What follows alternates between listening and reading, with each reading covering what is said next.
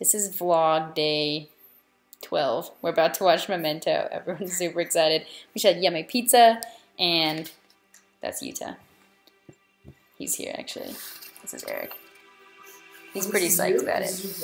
This is this is Ethan. He's cozy in his blanket. This is our television that's smaller than this computer screen. Not really, it's bigger, but that's okay. It's pretty small. This is Sandra, looking pretty in her dress.